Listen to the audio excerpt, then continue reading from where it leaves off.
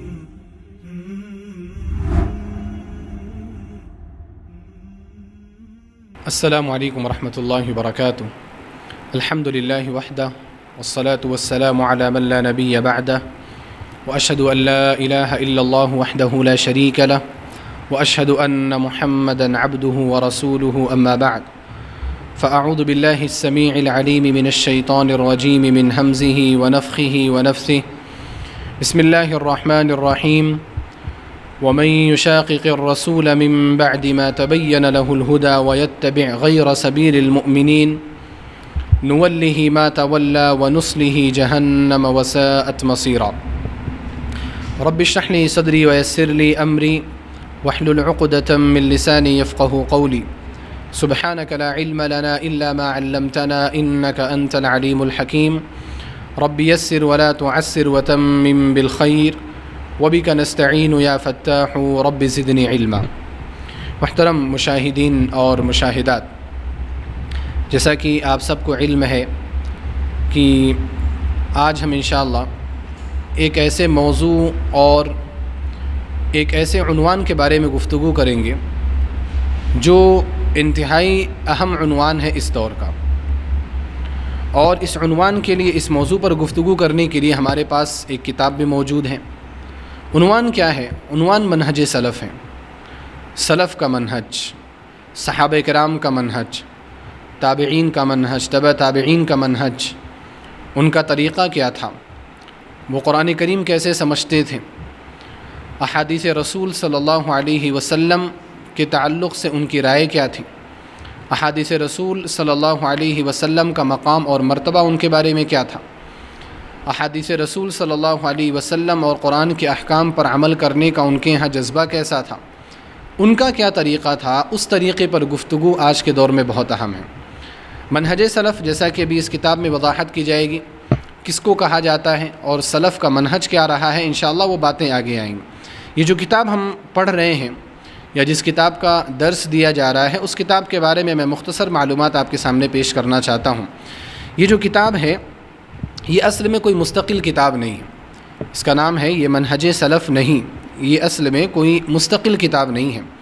शेख मोहम्मद बिन उमर बाज़मुल हफ़िज़ल्ला जो सऊदी अरब के एक मौकर आलिम हैं, मक्का मुकरमा में रहते हैं और मनहजी हैं, सलफ़ी हैं, उनकी नसीहतें हैं जिनको आ, उनके तलबा ने इकट्ठा किया।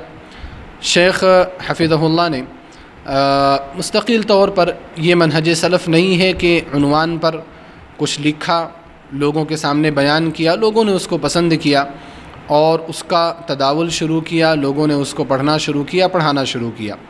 शेख मोहम्मद बिन उमर बाज़मुल हफ़िज़ल्ला की ये जो मुख्तलिफ़ जो कोशिशें हैं इस इस उनवान के साथ कि लई सम मनहज सलफ़, ये सलफ़ का मनहज नहीं है, उसी को यहाँ पर इकट्ठा किया गया। और ये जो किताब हमारे सामने और आपके सामने है, ये शेख़ अबू जैद ज़मीर हफ़िज़ल्ला ने इकट्ठा किया है, उसको जमा किया है, उसको तरतीब दिया है, उसका उर्दू तर्जुमा और रोमन तर्जुमा किया है तो अल्हम्दुलिल्लाह एक मुस्तकिल किताब की शक्ल में ये किताब आपके पास मौजूद है। वरना मैंने ज़िक्र किया कि ये कोई मुस्तकिल किताब नहीं है, जो शेख़ मोहम्मद बिन उमर बाज़मुल हफ़िज़ल्ला ने लिखी हो बल्कि ये उनकी नसीहतें हैं और उनकी मुख्तलिफ़ बातें हैं जिनको यहाँ पर जमा किया गया है, उनकी अहमियत के पेश नज़र। तो ये मनहज सलफ़ नहीं, ये सलफ़ का मनहज नहीं है। तो सलफ़ का मनहज क्या है, सलफ़ का मनहज क्या नहीं है, ये हम में से हर शख्स को मालूम होना चाहिए, हम में से हर शख्स को इसके बारे में इल्म होना चाहिए। आइए हम जब किताब की इब्तदा करेंगे तो इन इसके बारे में और भी बातें आपके सामने होंगी।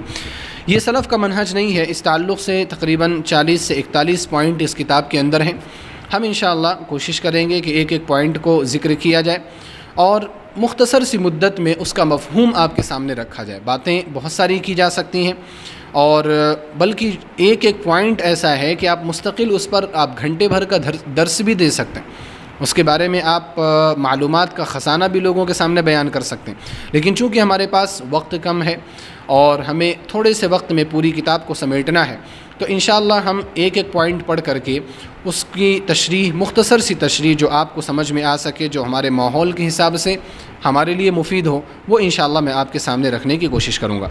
तो आइए हम देखते हैं, आपके पास किताब है, आप किताब ले ले करके आप मेरे साथ मुताबा कर सकते हैं, पढ़ सकते हैं।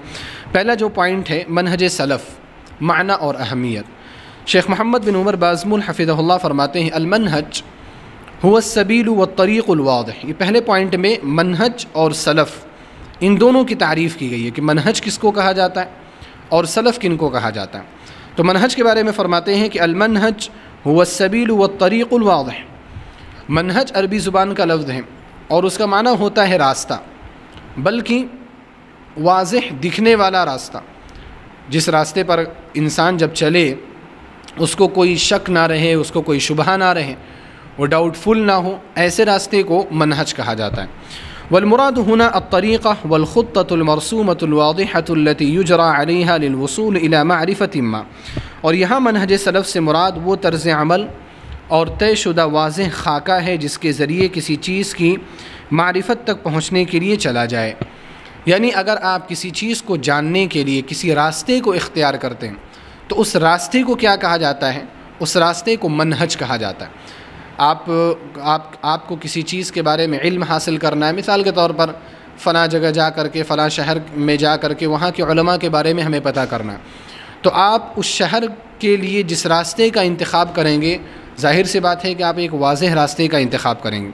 और आपके यहाँ मकसद भी वाज हैं। कि फ़लाँ शहर में जा कर के वहाँ से, वहाँ के उलमा से मुलाकात करनी है, उनसे फ़लाँ फ़लाँ मसले में गुफ्तु करनी है। तो ये आपके नज़दीक, आपका मकसद भी वाज है। आपके नज़दीक आप करना क्या चाहते हैं, ये चीज़ भी वाज है।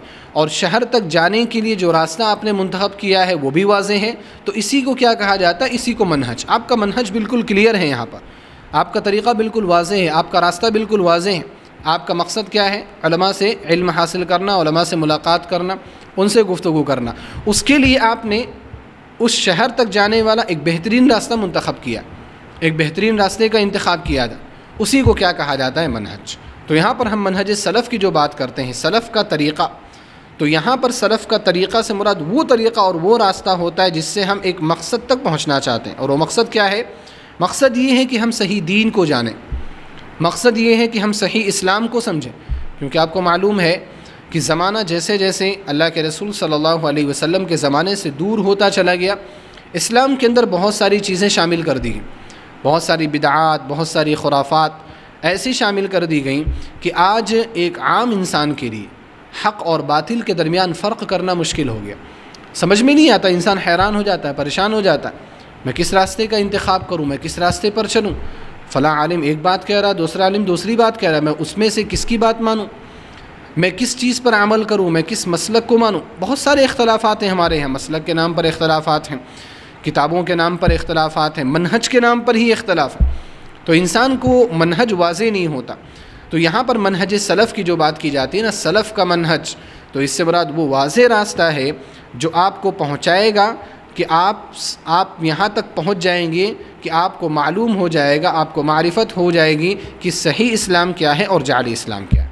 तो ये मनहज है असल में। वाज रास्ता वाज रास्ते को मनहज कहा जाता है अरबी ज़ुबान के अंदर। आइए जो दूसरा टुकड़ा है, सलफ़। सलफ़ के बारे में क्या कहते हैं, शेख मोहम्मद बिन उमर बाज़मुल हफ़ीज़ल्ला फरमाते हैं वसलफ़ी नस्बतुलसलफ़ हम में से आपने हर एक शख्स ने सलफ़ी नाम सुना होगा कि लोग अपने नामों के आगे सलफ़ी लगाते हैं। एक तो वो सलफ़ी है जो हमारे यहाँ मदरसे की तरफ़ नस्बत की जाती है। जैसे जाम सलफ़िया जो बनारस, उत्तर प्रदेश में है, उसकी तरफ़ नस्बत करते हुए जो वहाँ के फ़ारगीन हैं, वो सलफ़ी लगाते हैं। तो वो मदरसे के अतबार से भी सलफ़ी हैं, मनहज के अतबार से भी सलफ़ी हैं। लेकिन बहुत सारे लोगों को सलफ़ी कहा जाता है कि फ़ला भाई सलफ़ी हैं। तो उससे मुराद क्या है? उससे मुराद ये नहीं कि वो जाम सलफ़िया बनारस के फ़ारग हैं। बल्कि उससे मुराद ये है कि वो सलफ़ के रास्ते पर चलने वाले उसी के बारे में शेख मोहम्मद बिन उमर बाज़मुल हफ़िज़ल्ला फरमाते हैं वसलफ़ी नस्बतुलसलफ़ कि सलफ़ी जो कहा जाता है, वो सलफ़ की तरफ़ नस्बत है। और सलफ़ किसको कहते हैं? फरमाते हैं, वकुल्ल मन तक़दम का मिन आबाई का व कराबती का हम सलफ़। जो भी आपके आबा और अजदाद, आपके रिश्तेदार आपसे पहले गुज़र चुके, वो सब आपके लिए सलफ़ हैं। यानी सलफ़ का लघवी माना क्या होता है? हमसे पहले गुज़रने वाले लोग। हमसे पहले जो आकर के चले गए ना इस दुनिया में, वो हमारे लिए क्या है? सलफ़ हैं। तो हमारे आबा और अजदाद भी हमारे सलफ़ हैं। हमारे रिश्तेदार भी हमारे सलफ़ हैं, जो माजी करीब में गुज़रे। माजी बईद में, यानी बहुत पहले जो गुज़रे, वो भी हमारे सलफ़ हैं। अल्लामा इबन तैमिया रहमल्ला इबन क़य्यम अलजौज़िया रहमल्ला या इधर से आप देखें, माजी करीब में शेख़ुलस्लाम मोहम्मद बिन अब्दुल वहाब रहमल्ला ये सब हमारे सलफ़ हैं। और और ऊपर आप चले जाएँ, तब ताबीन ताबीन सहाब कराम रिजवान तजमैन ये सब के सब हमारे सलफ़ हैं। तो सलफ़ किन को कहा जाता है? वो अच्छे लोग जो गुज़र चुके जो आपके ज़माने से पहले वाले ज़माने में गुजर गए। उसके बाद यहाँ फरमाते हैं कि यहाँ पर सलफ़ से मुराद क्या है? ये तो लघवी माना हुआ सलफ़ का कि जो भी आपसे पहले गुजर गए आपके आबा और अजदाद या उससे पहले लोग उसके बाद के लोग जो लोग भी गुजर गए वो सलफ़ है लघवी माना।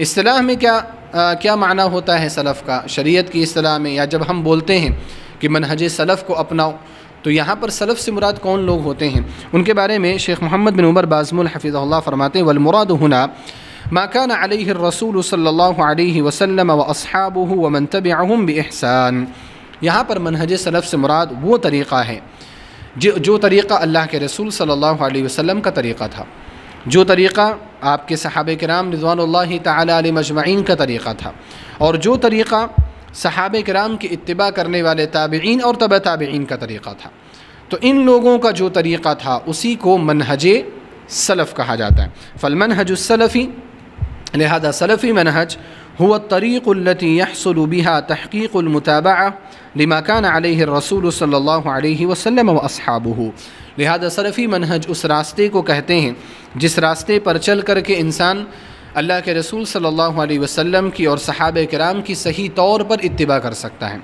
अव हुसैर अला तरीक़त सहाबा फ़ितबाहम रसूल सल्लल्लाहु अलैहि वसल्लम बिलअसर या मनहज सलफ़ी कहा जाता है सहाब कराम के तरीक़े पर चलना जिस तरीके से उन्होंने अल्लाह के रसूल सल्लल्लाहु अलैहि वसल्लम की इत्तबा की उस तरह से उनकी इत्तबा करना इसी तरह से उनके निशान कदम की इत्तबा करना यानी जो कुछ सहाब कराम ने किया उनको देख कर के अमल करना, उनके रास्ते को इख्तियार करना, उनकी पैरवी करना, ये मनहज सलफ़ी है।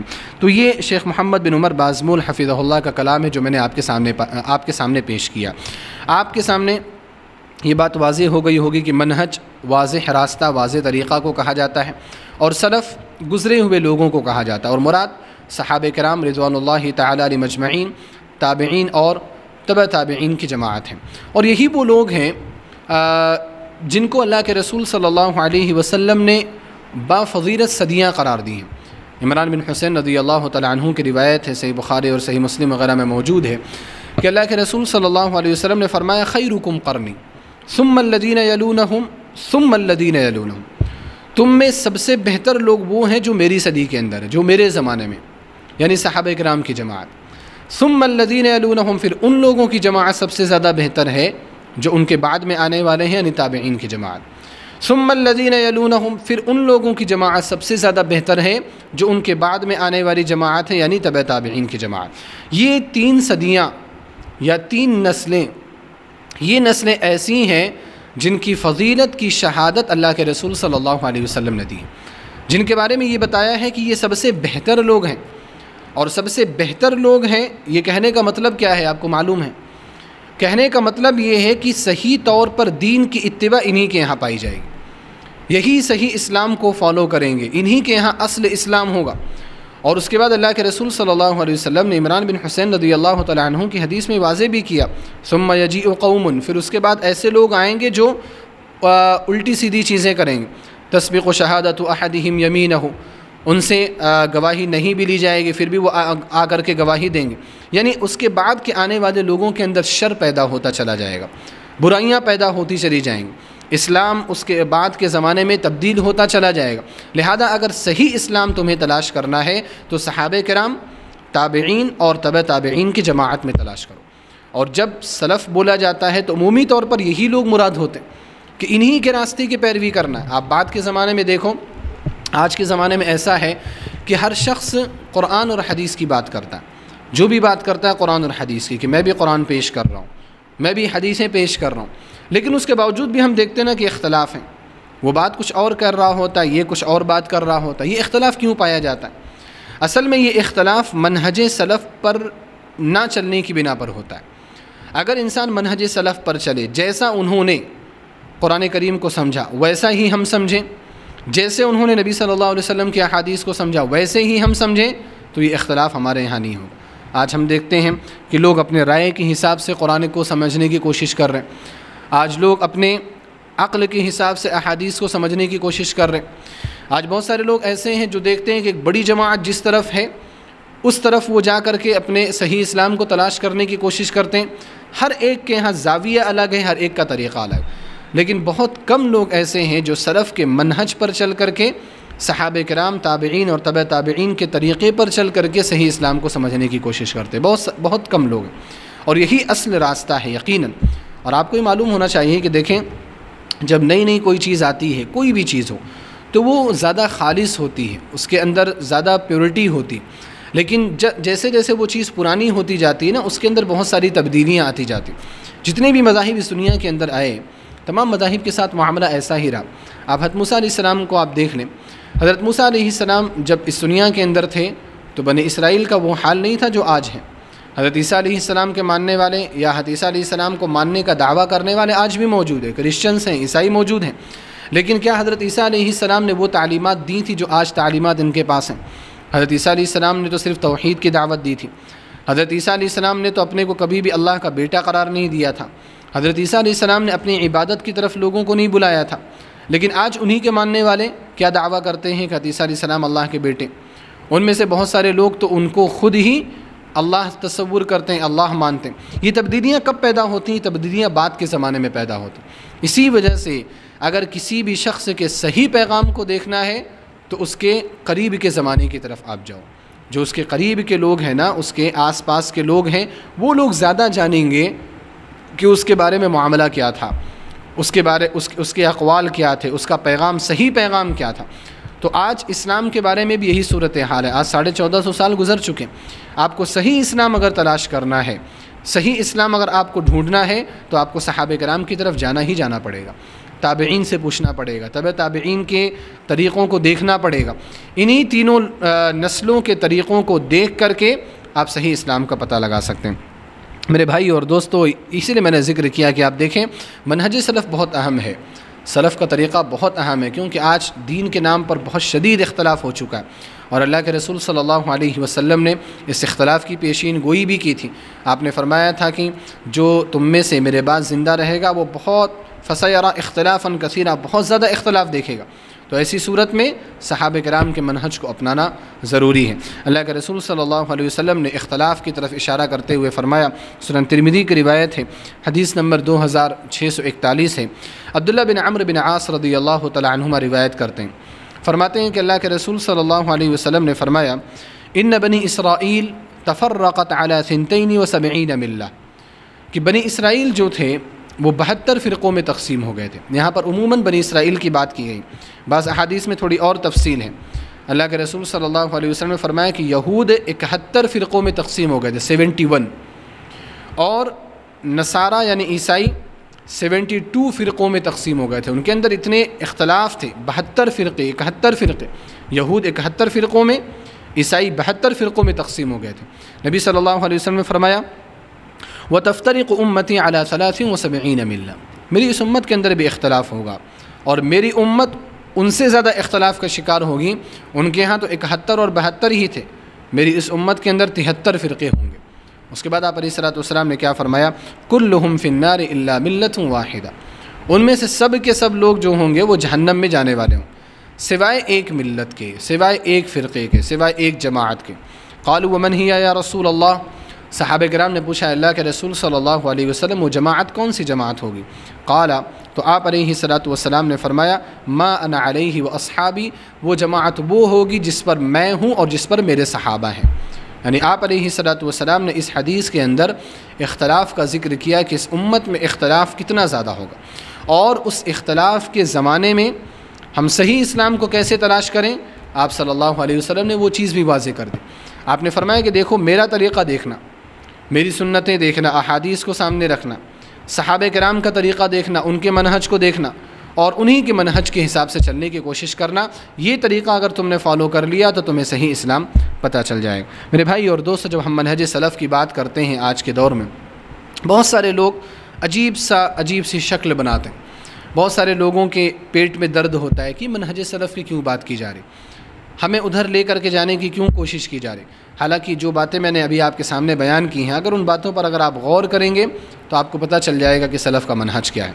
और यहाँ पर मैं और दलाइल भी आपके सामने पेश करने वाला हूँ कि मनहज सलफ़ जो है, वो हमारी अपनी राय नहीं है, वो हमारी अपनी ईजाद नहीं है, वो हमारी अपनी बात नहीं है। हम मनहज सलफ़ की इतबा की जो बात करते हैं, वो इस वजह से करते हैं कि ख़ुद अल्लाह सुबहान व ताली ने हमें उसकी इतबा करने का हुक्म दिया है। ख़ुद अल्लाह रब्लमीन ने हमें उनके तरीक़े पर चलने का हुक्म दिया नबी सल्लल्लाहु अलैहि वसल्लम ने ख़ुद हमें उनकी तरफ़ आने का हुक्म दिया। इसी तरह से जो सलफ़ थे, सहाब कराम थे, उनको भी पता था। ताबीन तब ताबीन थे, उनको भी पता था कि मनहज सलफ़ सबसे ज़्यादा अहम और ज़रूरी। आइए चंद दलाल मैं आपके सामने रखूँगा। कुरान करीम से दो दलीलें। सुर बकरा की आयत है, अल्लाह रब्बुल ने फरमाया फ़िन आमनु बिमिसलिमा आमन तुम भी फ़क़द तदो अल्लाह ने फरमाया कि अगर ये लोग यानी सहाब कराम के बाद में आने वाले लोग अगर ईमान ले कर के आए, ठीक उसी तरह से। जिस तरह से ए सहाबा, तुम ईमान रखते हो, फ़क़द तदो तो यकीन ये हिदायत पर है। अब यहाँ पर देखें, अल्लाह रब्बुल ने किसके मनहज की पैरवी करने को कहा? गुज़रे हुए सहाब कराम यही तो सलफ़ हैं कि आप इनके मनहज की पैरवी कीजिए। इनके मनहज की पैरवी ही अहम है। अगर लोग ईमान लाएँगे ठीक उसी तरह से। जिस तरह से सहाब कराम का ईमान था फ़क़द तदो तो ये ईमान काबिल कबूल है। तब ये लोग क्या हैं? हिदायत पर हैं। उसके बाद अल्लाह ने फरमाया, इसी आयत पर अगर आप गौर करें, व इन तवल्लु फ़िन नमा हम फ़ी शिका। लोग बोलते ना, इख्तलाफ क्यों हुआ है? आप इस आयत को पढ़ लें सुर बकरा की इस आयत को। अल्लाह ने फरमाया कि अगर वो एराज़ करेंगे, यानी सहाब कराम के तरीक़े को छोड़ेंगे, उस तरह से ईमान नहीं लाएँगे, जिस तरह से सहाब कराम ने ईमान रखा तो लोग इख्तलाफ में पड़ जाएँगे। फ़ैन नमा हूँ फ़ी शिकाक लोगों के अंदर इख्तलाफ हो जाएगा मसलक अलग हो जाएँगे, किताबें अलग हो जाएँगी, बातें अलग हो जाएँगी, उलमा अलग हो जाएँगे, मस्जिदें अलग हो जाएँगी, मदरसे अलग हो जाएँगे, तंजीमें अलग हो जाएँगी, सारी चीज़ें अलग हो जाएँगी। क्यों? व इन तवल्लु अगर सहाब कराम के रास्ते की इतबा नहीं करेंगे तो। सहाब कराम के मनहज की पैरवी नहीं करेंगे तो क्या है? फ़िन नमा हम फ़ी शिकाक। लोग इख्तलाफ में पड़ जाएँ। इख्तलाफ इसी वजह से होता है यहीं पर आकर के होता। है मनहज सरफ़ को ना अपनाने की बिना पर लोग मुख्तलिफ़ हो जाते हैं। लेकिन अल्लाह रब्लमी ने फरमाया, घबराने की कोई ज़रूरत नहीं है। फ़सयफ़ी कहूँ अल्लाह रब्लमिन उन सब के लिए काफ़ी अल्लाह के रसूल अलैहि वसल्लम ने फरमाया, कितना भी इख्तलाफ हो जाए, एक जमात हमेशा रहेगी जो हक़ पर गालिब रहेगी। हक़ उसके पहचान, हक़ उसकी पहचान रहेगी, हक़ उसका शार होगी, हक़ उसकी अलामत होगी। एक जमात हमेशा इस पर कायम और दायम रहेगी। और वो क़यामत तक रहेंगी। जो उनके साथ आया उसने अपना फ़ायदा किया। जो उनसे अलग हुआ जो उनकी आ, मदद को छोड़ा वो कभी भी उनको नुकसान नहीं पहुँचाया जाएगा अल्हम्दुलिल्लाह आज भी वो जमात मौजूद है। तो ऐसा नहीं है कि सिर्फ़ इख्तलाफ ही इख्तलाफ है। अगर आप सही तौर पर किसी चीज़ को समझना चाहते हैं तो वो तरीक़ा भी आपके पास मौजूद है। इसी तरह से हम देखते हैं सुरनिसा आयत नंबर 115 के अंदर अल्लाह रब्बुल ने दूसरी दलील मनहज सलफ़ की इतबा के बयान फरमाई। अल्लाह ने फरमाया वमैन शाक़िर मिनबादिमा तबैन लहुलहुदा वयतब गैर सबीरमिन नुवल्ली मा तवल्ला व नुसरी जहन्नम वसात मसीरा हिदायत आने के बाद जो रसूल की मुखालफत करता है सल्लल्लाहु अलैहि वसल्लम वयतब गैर सबीरमिन और मोमिन के रास्ते को छोड़ करके दूसरों के रास्ते की पैरवी करता है दूसरों के रास्ते की इतवा करता है अब मोमिन का रास्ता कौन सा है सहाब कराम का रास्ता अहल ईमान का रास्ता ताबेन का रास्ता मोमिन का रास्ता है तब ताबेन का रास्ता मोमिन का रास्ता तो यहाँ पर अल्लाह रब्लमीन ने रसूल अलैहि वसल्लम की इतबा का हुक्म दिया और वयत तब गैर सबीरमिन कह करके मनहज सलफ़ की इतबा का हुक्म दिया कि आप सहाब कराम, तब ताबेन ताबेन के मनहज को आप देखो। और ये भी फरमाया कि अगर आप इनके रास्ते की पैरवी नहीं करोगे तो अल्लाह ने क्या फरमाया? नुवल्ली मा तवल्ला, जिधर वो जा रहा है हम उसको उधर जाने देंगे। गुमराह हो रहा है, वो गुमराह होता चला जाएगा। इस दुनिया के अंदर, आप देखो, कुल्लो हिजबिम बिमा लदहिम फ़रीहूँ जितने भी गिरोह हैं, जितने भी ग्रुप हैं, हर ग्रुप अपने पास मौजूद दलाइल को लेकर के खुश है। मुतमिन है कि हम ही हक़ पर हैं। डंके को चोट पर कहता है, कस्में खा खा करके कहता है हर शख्स कि मैं ही हक़ पर हूँ। ये क्यों, ऐसा क्यों है? अल्लाह ने फरमाया ना, ये नूअल्ली मा तवल्ला, वो जिधर जा रहा है, हम उसको उधर जाने देंगे। वो उसी को सही समझेगा, वो उसी को हक समझेगा। लेकिन आखिरत में मामला क्या होगा? अल्लाह ने फरमाया वनुसली जहन्नम हम उसको जहन्नम में दाखिल कर देंगे। वसात मसीरा, जहन्नम बहुत बुरा ठिकाना। क्यों जहन्नम में दाखिल करेंगे? क्योंकि एक तो उसने रसूल सल्लल्लाहु अलैहि वसल्लम की इत्तबा नहीं की, पैरवी नहीं की, और दूसरे वो सहाब कराम ताबेन और तब ताबेन के तरीक़ पर नहीं चला। वो मुमिन के रास्ते पर नहीं चला। तो मनहज सलफ़ बहुत ज़रूरी है। अल्लाह के रसूल सल्लल्लाहु अलैहि वसल्लम की हदीस जो अभी आपके सामने पेश की गई।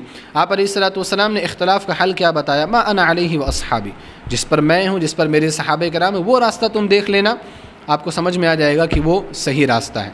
इसी तरह से जो हदीस मैंने आपके सामने ज़िक्र की अरबाद इबन सारिया रदी अल्लाह तु की, अल्लाह के रसूल सल्लल्लाहु अलैहि वसल्लम ने फरमाया फ़िन हुमैया इश्मिन कुम्बादी फ़सर अख्तिलाफ़न कसीरा। तुम में से जो शख्स भी मेरे पास ज़िंदा रहेगा बहुत इख्तलाफ देखेगा। उस वक्त क्या करना है? फ़ालकुम बिसन्नति व सुन्नतलखलफ़ा राशिदीन अलमहदीन मिम्बादी मेरी सुन्नत को मजबूती से पकड़ लेना और मेरे बाद आने वाले खलफ़ा राशिदीन, यानी सहाब कराम के तरीक़े की इतबा करना। तमस्सकू बिहा, मजबूती से थामना। वाक़ा बिन नवाजिद और अपने दांतों से जिस तरह से तुम मजबूती के साथ किसी चीज़ को पकड़ते हो, उसी तरह से सलफ़ के तरीक़े को, उनके मनहज को मजबूती से तुम पकड़ लेना। ये हदीसें और अगर ये आयतें अगर आप अपने सामने रखें तो आपको पता चलेगा कि मनहज सलफ़ की जो बात की जाती है, वो यूँ ही नहीं की जाती। कुरान करीम मनहज सलफ़ की बात करता है। नबी सल्लल्लाहु अलैहि वसल्लम की अहादीस मनहज सलफ़ की बात करती। और एक और असर बात करके मैं आगे की तरफ़ बढ़ता हूँ, जिससे आपको पता चलेगा कि ताबेन और तब ताबेन के यहाँ उसका क्या मकाम था, उसका क्या मरतबा था। इमाम तबरानी रहमल्ला ने अपनी किताब किताब के अंदर ज़िक्र किया है। और हाफिज़ जहबी रहमल्ला ने अपनी किताब सीर आलामिन नबला में इस रिवायत को बयान किया है। फरमाते हैं कि अब्बाद इबन अवाम रहमल्ला फरमाते हैं कि उनके उस्ताद शरीक इबन अब्दुल्ला उनके पास आए। तो अब्बाद इबन अवाम रहमल्ला फरमाते हैं कि हमने शरीक अन्नखी रहमल्ला से कहा कि, ए अबू अब्दुल्ला इन इंदना कौमन मिनलमतज़ला हादिल अहादीस। हमारे पास एक जमात है मतज़ला की, जो कुछ अहादीस का इनकार करती है। किस कस्म की अहादीस थी वो? जैसे अल्लाह रब्बुल इस दुनिया के आसमान, दुनिया पर नाजिल होता है।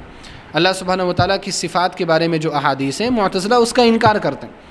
तो जब शरीक इबन अब्दुल्ला अन्नखी रहीमल्ला अब्बाद इबन अवाम रहीमल्ला के यहाँ आए तो अब्बाद इबन अवाम रहीमल्ला ने उनके सामने ये मसला पेश किया कि देखें मतज़ला की एक जमात है जो इन अहादीस का इनकार करती है। तो उन्होंने क्या जवाब दिया? फरमाते हैं अब्बाद इबन अवाम रहीमल्ला फ़हदसनी शरीक इबन अब्दुल्ला बिनहब मिन अशरत अहादीस फ़ी हाजा कि शरीक इबन अब्दुल्ला नख़ी रहमल्ला ने तकरीबन दसियों अहादीस इस मसले में हमें बयान की कि अल्लाह सुबहान व नाजिल होता है ये उसकी सिफत है और इस सिफत को हमें मानना चाहिए क्योंकि अल्लाह रब्बुल की सिफत के बारे में हमारे यहाँ कायदा ये कि अल्लाह की सिफत जैसे आई है हम ये मानते हैं कि ये सिफत उसकी शान और उसकी जलाल के मुताबिक है हम उसकी कैफियत के बारे में बात नहीं करते हम उसके बारे में ज़्यादा खोद कुरेद नहीं करते। यही सरफ का मनहज है। तो शरीक इबन अब्दुल्ला नख़ी रहीमल्ला ने दसियों अहादीस बयान की कि ये सिफ़त जो है अल्लाह सुबहान व ताली के आसमान दुनिया पर नाजिल होने की ये सिफ़त साबित है अपने आप में। उसके बाद आपने फरमाया, अम्मा नहनु फ़अज़ ना दीन ना सहाबा। जहाँ तक बात है हमारी तो हमने ये जो दीन लिया है, ये जो अहादीस हमने सीखी ये सहाब कराम से सीखी हैं। अन सहाबत रसूल सल्ला वसल्लम अल्लाह के रसूल सल्लल्लाहु अलैहि वसल्लम के सहाब कराम से हमने ये दीन सीखा है। फ़हुम अमन अखदू। अब इन लोगों से ये पूछा जाएगा, इन मतज़िला से, इन इख्तलाफ़ करने वालों से पूछा जाएगा कि तुमने किससे अपना दीन सीखा है? तुम ये बात जो कह रहे हो कि अल्लाह रबालमीन नाजिल नहीं होता, ये हदीस सही नहीं, ये ये तुम कहाँ से कह रहे हो? तुम्हारे पास क्या बुनियाद है? तुम्हारा मैार क्या है? हमने तो सहाब कराम से इल्म सीखा है। सहाब कराम ने हमें वो अहादीस बताई हैं। सहाब कराम वो अकीदा रखते थे, आज हम भी वो अकीदा रख रहे हैं। तुमने ये कहाँ से सीखा? तुमने ये कहाँ से निकाला कि अल्लाह सुबहान व नाजिल नहीं होता? तुमने क्यों इन सिफ़ात का इनकार किया? आप शरीक में अब्दुल्ला नख़ी रहमल्ला के इस कौल को अगर आप गौर से सुनेंगे और अगर उस पर आप गौर करेंगे तो पता चलेगा कि देखें, सलफ़ का मनहज इंतहाई अहम है और ज़रूरी है। इसको ताबेन भी समझते थे, तब ताबेन भी समझा करते थे। क्योंकि अगर सलफ़ के मनहज को ना समझा जाए तो फिर इंसान गुमराह हो जाता है। तो ये जो पहला पॉइंट है, आपके सामने मनहज की तारीफ़ की गई कि मनहज क्या है? सलफ़ की तारीफ़ की गई कि सलफ़ कौन लोग हैं? और मैंने चंद दलाइल से, जो खारजी दलाइल हैं, मैंने आपके सामने वाजे किया कि मनहज सलफ़ क्यों ज़रूरी है? उसकी इतबा क्यों ज़रूरी? जब मनहज सलफ़ की इतबा ज़रूरी है तो आइए हम ये देखते हैं कि मनहज सलफ़ क्या है और क्या नहीं है। शेख मोहम्मद बिन उमर बाज़मुल हफ़ीज़ल्ला ने आगे के नुकात में ये इस लफ्ज़ के साथ ज़िक्र किया है कि ये मनहज सलफ़ नहीं। मनहज सलफ़ के अगर बारे में बात करें ना कि मनहज सलफ़ क्या है तो वो बहुत सारी चीज़ें, बहुत सारी चीज़ें, वो बहुत वसी मजमून है। हर चीज़ में सलफ़ का मनहज हम तलाश करेंगे। फ़लाँ चीज़ में, ईमान के बाब में, अक़ीदे के बाब में सलफ़ का मनहज क्या है? अहादीस के ताल्लुक़ से सलफ़ का मनहज क्या है? तफसीर और रसूल तफसीर के ताल्लुक़ से सलफ़ का मनहज क्या है? तो अगर आप बात करेंगे ना तो पूरे दीन के बारे में बात हो जाएगी। तो लिहाजा मनहज सलफ़ क्या है? इस बारे में अगर हम बात करने जाएँगे तो बहुत तवील हमारी बात हो जाएगी। लिहाजा शेख मोहम्मद बिन उमर बाज़मुल हफ़ीज़ल्ला ने हमत के साथ हमारे सामने ये बयान किया कि ये मनहज सलफ़ नहीं है। आप इन चीज़ों को अगर आप देख लेंगे तो आपको पता चल जाएगा कि सलफ़ का मनहज क्या नहीं है और उससे ये भी पता चल जाएगा कि सलफ़ का मनहज क्या है। तो आइए देखते हैं दूसरा जो पॉइंट है शेख अबू जैद ज़मीर हफ़ीज़ल्ला ने उस पर जो उनवान कायम किया है, इल्म से पहले अमल। शेख मोहम्मद बिन उमर बाज़मुल हफ़ीज़ल्ला फरमाते हैं लई मन हज सलफ़ अमल कबलम इन मकान यबदऊन बिलम कबलमल क़ाल ताली फ़ालम वस्तफ़िर लम्बिक वलमिन वलमिनत फरमाते हैं कि इल्म से पहले अमल करना ये सलफ़ का मनहज नहीं है। अल्लाह सुबहान व ताली ने हमसे अमल को चाहा है। अल्लाह ने फरमाना कि अल्लाह ख़लक़लमौत वलहयात लियबलुवकुम अय्युकुम अहसन अमला कि अल्लाह रब्बुल ने मौत और ज़िंदगी को पैदा किया है ताकि वो तुम्हें आज़मा सके कि तुम में से कौन शख्स बेहतरीन अमल करने वाला तो अल्लाह रब्बुल ने हमें इस दुनिया के अंदर अमल करने के लिए पैदा किया वमा ख़लक़ुलजिन्न वलनसाबून कि मैंने जन्नात और इंसान को अपनी इबादत के लिए पैदा किया इबादत किसका नाम है अमल का नाम है तो अमल के लिए हमें पैदा किया गया लेकिन क्या हम इस दुनिया में पैदा होते ही अमल करना शुरू कर दें? अमल के बारे में क्या मालूम हासिल करना ज़रूरी नहीं है? अगर आपके नज़दीक ये फ़हम है तो गलत है। सलफ़ का मनहज क्या है? सलफ़ भी ये मानते थे कि अमल करना है हमें, लेकिन अमल से पहले इल्म हासिल करना ज़रूरी। इसलिए फरमाया कि इल्म से पहले अमल करना सलफ़ का मनहज नहीं है। सलफ़ अमल से पहले इल्म से शुरुआत किया करते थे, पहले इल्म हासिल करते थे। उसके बाद अमल की तरफ़ आते थे। और उसकी दलील यहाँ पर शेख मोहम्मद बिन उमर बाज़मुल हफ़ीज़ल्ला ने दी। सुर मोहम्मद की आयत नंबर उन्नीस है कि अल्लाह ने क्या फ़रमाया? फ़ालम अनला वस्तफ़िरज़म्बी का वलमिन वलमिनत के नबी सल्लल्लाहु अलैहि वसल्लम, पहले आप इस बात का इल्म हासिल कीजिए कि अल्लाह सुबहान व ताली के सिवा कोई भी मबूद बरहक नहीं। वस्तफ़िर का वलमिन वलमिनत उसके बाद आप अपने गुनाहों की और मोमिन मर्दों और मोमिन औरतों के गुनाहों के लिए मफ़रत तलब कीजिए। तो आप यहाँ पर देखें इस्तफ़ार एक अमल है। अल्लाह रब्बुल से माफ़ी मांगना एक अमल है। अल्लाह ने उस अमल से पहले इल्म हासिल करने का हुक्म दिया।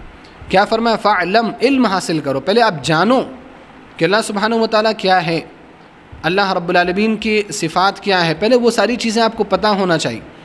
इबादत कैसे करनी है? अमल कैसे करना है? पहले ये चीज़ें आप जानें। उसके बाद आप आप अमल करें। वस्तफ़िर लिजम्बिक वलमिन वलमिनत तो इससे हमें अंदाज़ा हुआ होगा कि हमें अमल करना जैसे हम नमाज़ पढ़ते हैं, नमाज़ से पहले नमाज़ का तरीक़ा जानना ज़रूरी है। आप रोज़ा रखते हैं रमज़ानमबारक में बड़े शौक़ के साथ, बड़े जज्बे के साथ, लेकिन रमज़ानमबारक का रोज़ा रखने से पहले रमज़ानमबारक के रोज़ों के अहकाम के बारे में जानना ज़रूरी है। आप ज़क़़त देते हैं ज़क़़त देने से पहले ज़क़़त के अहकाम, उसके निसाब और उसके शुरूत और उसके मकादिर के बारे में जानना ज़रूरी है। आप हज करने जाते हैं। हज करने से पहले आपको हज के तरीक़े के बारे में जानना ज़रूरी है और इन सारी चीज़ों के बारे में ख़ुद अल्लाह के रसूल सल्लल्लाहु अलैहि वसल्लम ने हमें तंबी की। अल्लाह के रसूल सल्लल्लाहु अलैहि वसल्लम नमाज़ के ताल्लुक़ से क्या फ़रमाया? सल्लु कमार तुमूनी उसली तुम उसी तरह से नमाज़ पढ़ो जिस तरह से तुमने मुझे नमाज़ पढ़ते हुए देखा। आपने हज के बारे में फ़रमाया, खुद अन्नी मनासिका कुम ए लोगों, हज का तरीक़ा मुझसे सीखो। मैं, हो सकता है, इस साल के बाद मैं कभी हज ना कर पाऊँ।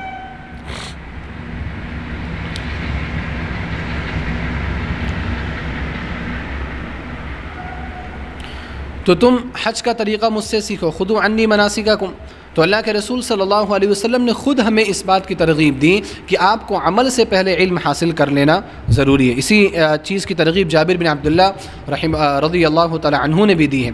जाबिर बिन अब्दुल्ला रदी अल्लाह तु बयान फरमाते हैं कि तल्लमल बिल्म इल्म के ज़रिए से अमल को सीखो। पहले इल्म हासिल करो और इल्म हासिल करने के बाद ये पता लगाओ कि मुझे अमल क्या करना है। इमाम भाई हक़ी रहमल्ला ने जाबिर बिन अब्दुल्ला रज़ी अल्लाह तहुमा के इस असर को अपनी किताब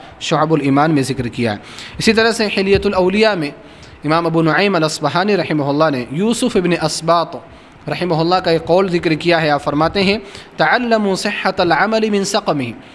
आपको ये सीखना ज़रूरी है कि कौन सा अमल सही है और कौन सा अमल सही नहीं है? फ़ैनी अतम हूँ फ़िसनतनी व इश्तीन सनतन, क्योंकि मैंने ये बाईस सालों के अंदर सीखा है। यानी बाईस सालों को मैंने लगाया है किस लिए? इसलिए लगाया है कि मुझे पता चले कि कौन सा अमल सही है, कौन सा अमल सही नहीं। तो सलफ़ का मनहज क्या रहा है? कि सलफ़ पहले ये पता करते थे कि यह अमल दुरुस्त है या नहीं। ये अमल सही है या नहीं? उसके बाद वो अमल करना शुरू किया करते थे। क्योंकि देखें, अगर आप इल्म से पहले अगर आप अमल करने लगेंगे तो आपका अमल क्या होगा? आपका अमल हो सकता है बातिल हो जाए। आपके, आपका अमल अगर नबी सल्लल्लाहु अलैहि वसल्लम के बताए हुए तरीक़े के मुताबिक नहीं होगा तो कभी भी वो अमल अल्लाह सुबहान ताली के यहाँ काबिल कबूल नहीं होगा। हम में से कौन शख्स ये चाहता है कि वह अमल करे, पूरी मेहनत करे, पूरी कोशिश करे और उसका अमल मकबूल ना हो? तो हम से कोई नहीं चाहता ये बात। हम ये चाहते हैं कि हमारा अमल मकबूल हो, हमारा अमल अल्लाह सुबहान ताली के यहाँ कबूल हो। तो अगर हम अमाल की कबूलियत चाहते हैं तो उस अमल का तरीक़ा क्या बताया है? नबी सल्लल्लाहु अलैहि वसल्लम ने उस तरीक़े को जानना ज़रूरी है। एक मैं हदीस आपके सामने रखता हूँ, जिससे आपको ये अंदाज़ा होगा कि अमल से पहले इल्म हासिल करना क्यों ज़रूरी है। सुन नसी के अल्फाज हैं, हदीस नंबर एक हज़ार तीन सौ बारह है। और इसकी असल हदीस सही बुखारी में भी मौजूद है। हदीस नंबर तीन सौ नवासी, हदीस नंबर सात सौ इक्यानवे, हदीस नंबर आठ सौ आठ में हज़रत हुदैफ़ा रदी अल्लाह तु हुदैफ़ा बिन यमान रदी अल्लाह तु का असर है कि उन्होंने एक शख्स को देखा जो नमाज़ पढ़ रहा था। और वो शख्स बहुत जल्दबाजी में नमाज़ पढ़ रहा था। रुकू और सजदे, जैसे हमारे यहाँ बहुत सारे लोग होते हैं, रुकू और सजदे मुकम्मल तौर पर नहीं करते। तो हदैफ़ा बिन यमान रदी अल्लाह तु रसूल ने देखा कि वो मुकम्मल तौर पर रुकू और सजदे नहीं कर रहा है। तो हज़रत हुदैफ़ा रदी अल्लाह तु ने नमाज़ के बाद उससे मुलाकात की। उससे पूछा, एक सवाल किया मुंदुकम तसली हाद हिस्सला कितने सालों से तुम इस तरह से नमाज़ पढ़ रहे हो? तो उस शख्स ने कहा, मुंद अरबईन आम, चालीस साल से मैं इस तरह से नमाज़ें पढ़ रहा हूँ। हाँ तो जैफ़ा रदी अल्लाह तु ने फरमाया, माँ सल्लईत मुंद अरबईन सनतन। याद रखो कि चालीस साल से तुमने नमाज़ ही नहीं पढ़ी। अल्लाह अकबर सुबहान अल्लाह आप देखें, चालीस साल से वो शख्स नमाज़ पढ़ रहा है, लेकिन उसको चालीस साल से नमाज़ पढ़ने का सही तरीक़ा ही मालूम नहीं। इतमान के साथ नमाज़ पढ़ना, अरकान को अदा करके नमाज़ पढ़ना, सारी चीज़ें उसके यहाँ है ही नहीं। हज़ैफ़ा रदी अल्लाह सहाबी रसूल, उन्होंने क्या कहा? तूने चालीस साल से नमाज़ ही नहीं पढ़ी। हालाँकि उसने नमाज़ पढ़ी है। लेकिन आपने ये बात क्यों कही? आपने ये बात इस वजह से कही क्योंकि उसने नमाज़ का तरीक़ा नहीं सीखा। अमल कर रहा है, लेकिन अमल करने से पहले उसने इल्म हासिल नहीं किया। और एक और सख्त जुमला आपने कहा, क्या कहा? व वलो मित्ता, व अन तसलात लमित गैर फ़ितरत महमद सल्ला वसम कि अगर तुम इसी नमाज़ को, इसी तरह से नमाज़ को पढ़ते हुए तुम मर गए तो तुम मोहम्मद सल्लल्लाहु अलैहि वसल्लम के तरीक़े पर नहीं मरोगे, मोहम्मद सल्लल्लाहु अलैहि वसल्लम के अलावा दूसरों के तरीक़े पर मरोगे। नऊद बिल्लामिनदारिक आप देखें, एक शख्स नमाज़ पढ़ रहा है, चालीस साल से नमाज़ पढ़ रहा है, साठ साल से नमाज़ पढ़ रहा है। हमारे यहाँ ऐसे भी लोग हैं। आप देखो कितनी जल्दबाजी में वो नमाज़ पढ़ते हैं। उनको नमाज़ पढ़ने का तरीक़ा मालूम नहीं। इस वजह से सलफ़ का ये जो मनहज है, अपनी जगह बिल्कुल मुसलम है कि अमल करने से पहले हमें इल्म हासिल कर लेना ज़रूरी है। और अगर हम अमल करने से पहले इल्म हासिल नहीं करते तो हमारा शुमार ईसाइयों और नसारा के साथ हो जाएगा। सुरफ़ाती आप पढ़ते हैं, उसमें आप एक दुआ करते हैं। अल्लाह ने फरमा दिन सरातमस्तकीम सरातल्लिन अनमत अलहम गैरमकदूब अलहमद्दीन कि ए रब, तू हमें सरात मुस्तकीम पर चला। उन लोगों के रास्ते पर चला जिनके ऊपर तूने इनाम किया उन लोगों के रास्ते मत, उन लोगों के रास्ते पर मत चला जिनके ऊपर ए अल्लाह, तेरा गज़ब नाजिल हुआ है। और उन लोगों के रास्ते पर भी मत चला जो गुमराह हो गए। यहाँ पर अलमखदूब अलहिम और वालिन से कौन मुराद हैं? आप तफसीर उठा करके देखें। मखदूब अलहिम से मुराद यहूद हैं। उनके ऊपर अल्लाह रब्लमीन का गज़ब नाजिल हुआ। क्यों गज़ब नाजिल हुआ? सबसे बड़ी चीज़ उनके यहाँ ये थी कि उनके पास इल्म था, लेकिन वह अमल नहीं करते थे। और नसारा को अल्लाह अल्लाह रब्बुल ने फरमाया वलद्दौलीन कि वो गुमराह लोग हैं। तो नसारा को दौलीन क्यों कहा? क्योंकि उनके पास क्योंकि उनके पास अमल था, लेकिन इल्म नहीं था। वो इल्म के बग़ैर अमल किया करते थे। चुनाच हाफिज़ इबन कसीर रहमल्ला फरमाते उनकी तफसीर का जुमला है, मैं आपके सामने रखना चाहता हूँ कि इन तरीक़त अहल ईमान मुश्तमिलतम बिलहक़ वलमल भी कि अहल ईमान का जो तरीक़ा होता है, वो हक़ हक़ को सीखना और उस पर अमल करना होता है। अहल ईमान हक़ को सीखने की कोशिश करते हैं और उस पर अमल करने की कोशिश करते हैं। लेकिन यहूद और नसारा ने क्या किया? वल यहूद फ़क़दुलमल यहूद ने अमल नहीं किया, इल्म था उनके पास, उन्होंने अमल नहीं किया। वन नसारा फ़क़दुलम और नसारा ने इल्म हासिल नहीं किया। वलिहादा कान अलगदबुलयहूद इसी वजह से गदब यहूद के ऊपर नाजिल हुआ। वदलानसारा और गुमराही गुमराह नसारा को करार दिया गया। हाफिद इबन कसीर रहमल्ला ने यहाँ पर वाजे किया कि नसारा को गुमराह क्यों करार दिया गया? क्योंकि वो अमल करते थे, लेकिन उनके पास इल्म नहीं था। आप देखें, रहबानियत, ये जो ईजाद है, ये ईसाइयों की ईजाद है। रहबानियत का माना क्या होता है? शहर छोड़ करके जंगलात में चले जाना, लोगों से कट कर ज़िंदगी बसर करना, बस अल्लाह अल्लाह करते रहना, न लोगों से रबता रबते की कोशिश करना न लोगों की तकलीफ़ पर सब्र करना, ये चीज़ जो है ये अल्लाह सुबहान ताली ने ईसाइयों के ऊपर मशरू नहीं की थी। लेकिन ईसाइयों ने इस चीज़ को अपने ऊपर ख़ुद मुसलत कर लिया था। तो अल्लाह रबी ने फरमाया, व रहबानी इबतदाऊहा रहबानियत को इन्होंने ईजाद किया। माँ कतबना अलीम रहबानियत का, को हमने इनके ऊपर फ़र्द नहीं किया था। हमने इसका हुक्म नहीं दिया था। इल्लबतगा रिजवान हमने जो हुक्म दिया था कि तुम अल्लाह रब्लमीन को राज़ी करने की कोशिश करो, इन्होंने रहबानियत को इख्तियार कर दी अब देखें, अल्लाह रब्लमीन ने उनको भी अमल करने को कहा था। लेकिन इन लोगों ने क्या किया? इन लोगों ने इल्म हासिल नहीं किया। उन इन लोगों ने उस तरीक़े को नहीं जाना। इन लोगों ने उस तरीक़े को नहीं जाना जिस तरीक़े पर चल करके वो अल्लाह सुबहान व ताली को राज़ी कर सकते थे।